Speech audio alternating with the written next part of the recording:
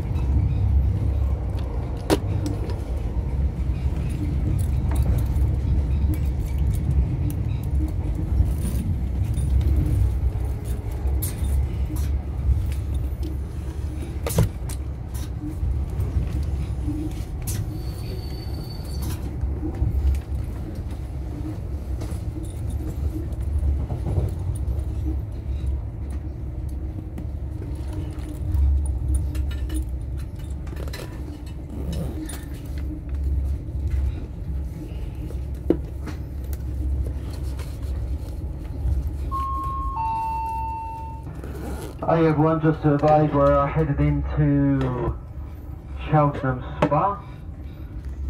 Once again, your next stop now will be Cheltenham Spa.